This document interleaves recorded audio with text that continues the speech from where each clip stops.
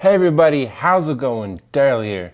So a question I've been getting asked a lot is what is a good lighting rig for a beginner, just someone who's starting out? Something that is affordable but will be very professional. And so I thought about it and I thought about the Chauvet Wash FX Hex. I can't think of a better light that fits that description. And not only is it a light that's perfect for beginners, but it's also really good for experienced pros who want like a really nice wash effect that they can just use by itself for a very minimalist rig or as part of a bigger installation. So this is like a light that you can start out with and you can continue to use it as you grow. And trust me, once you start buying lighting, it's like a drug, you're not gonna stop. So you can pick this up at Guitar Center for 280 bucks and I have a link in the description below and clicking on that link helps support this channel.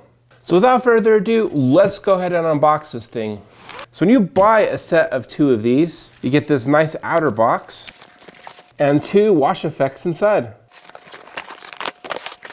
All right, and so this is the retail box.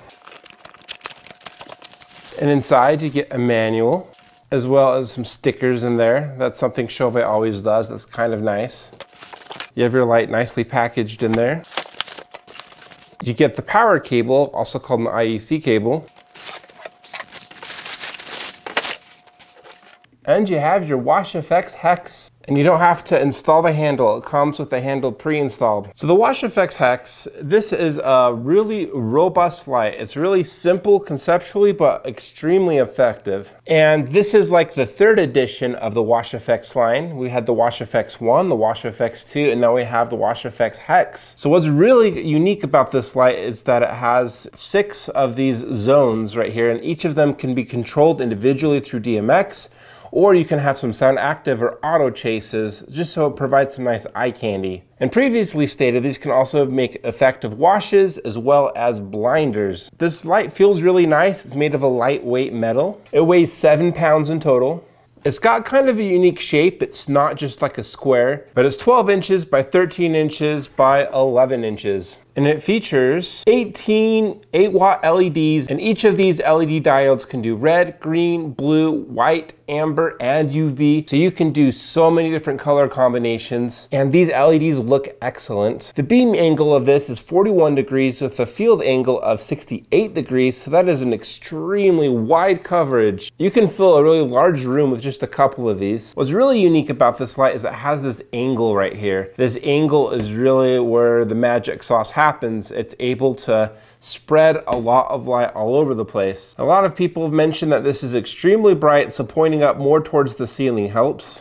And so the bracket hangs just under seven inches from the actual unit. This bracket comes with a couple of knobs so that you can adjust the angle. It features a couple of fans to help control the heat. It has some nice branding on the top, Wash FX Hex, but it's out of sight from the clients. And then on the back here, you have the power inputs. You can also daisy chain these up to three additional ones. This is where you can plug in your DMX controls. So this is where the DMX input goes. And if you want to do master slave mode, which I will show you in just a moment, this is where you would output it. If you have a safety loop, this is where it hooks in so that if your mounting hardware ever fails you, it will not completely fall and hit someone in the head. So that's a really nice safety feature to have. Looks like it has an IR remote sensor on the back as well as the front. Chauvet has this really nice IR remote that works with like all of their fixtures that is sold separately. We have a microphone for sound active mode and we have a very familiar four button LCD panel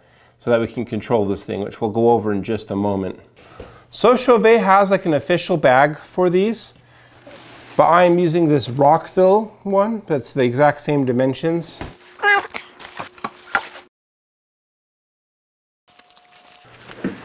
With each one weighing about seven pounds, this is not too heavy. This is really lightweight. And it has like a zippered pouch so that you can put like all of your accessories in there, like your power cables, your mounting hardware.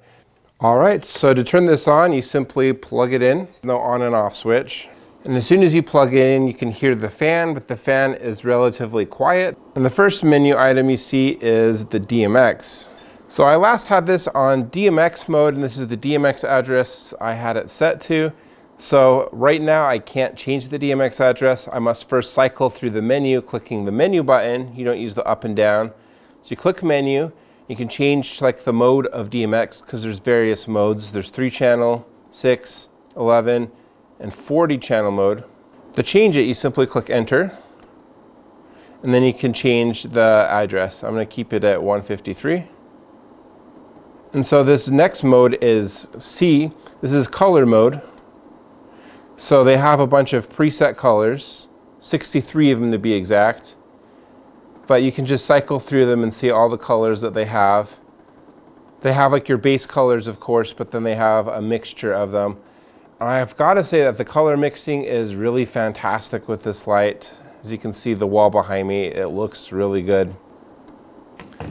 And so P is for auto programs. So if you want to enter this menu, click enter, and then you can choose between 1 and 25 auto programs. And so you can kind of see what it's doing like uh, against this back wall, but let me just show you. Like I mentioned, it does some chases. So this is like what a chase looks like. And I'll show you more during the demo, so don't you worry. And then they have speed, so you can choose like the speed of these chases. By default, it's set at 85, so you can increase that or decrease it. So see what 100 looks like.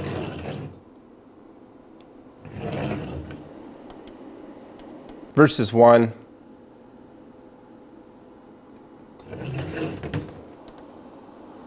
So you can control the dimmer, which is nice because if you are just going to be using this on some sort of like auto mode, you might not want these on full brightness and you can control that right here from the panel. So it's a value between 1 and 25.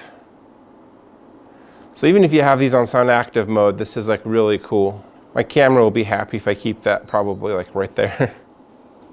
then there's sound active mode. And there's nine different sound active modes and they all do different things. And you can control the sensitivity of sound active mode. You can put these on master slave mode, which I'll show you in a moment.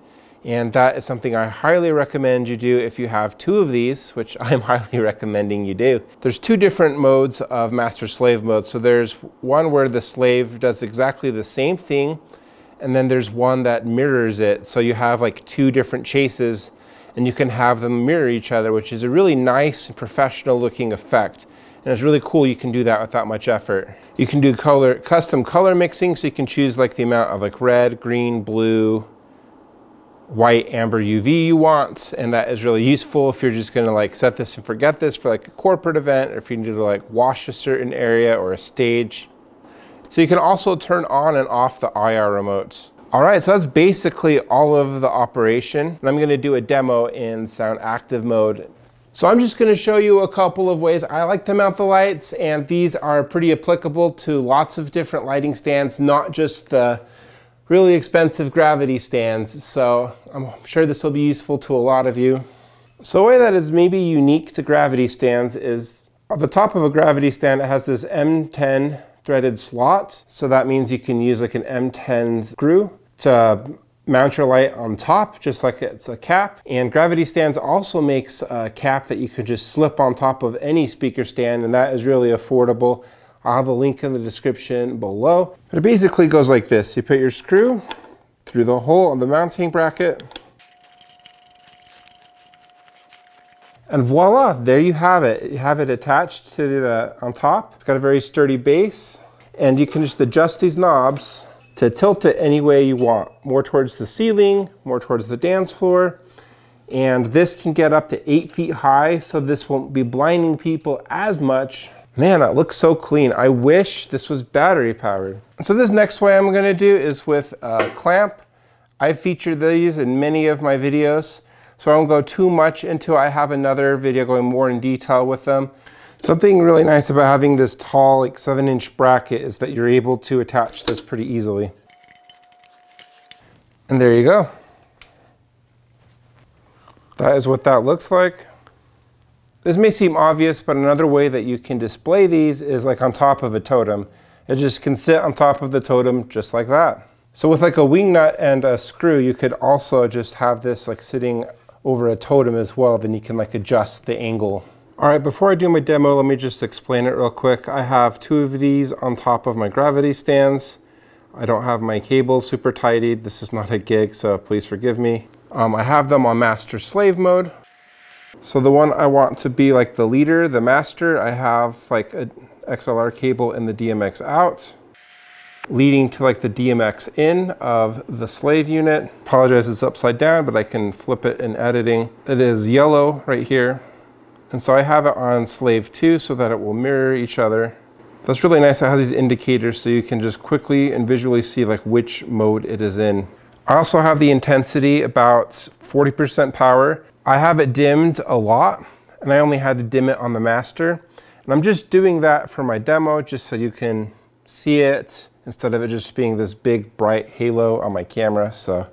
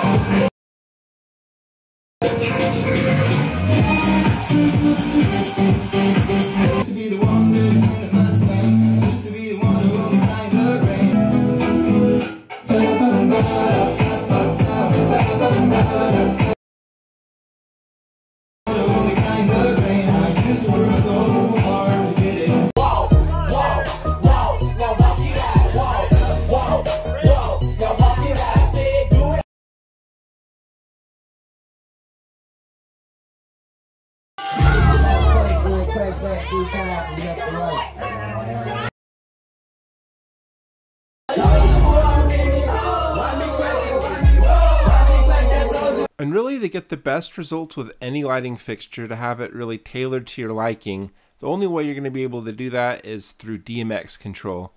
And so I like to use SoundSwitch, and here's a demo of some of my auto loops that I created.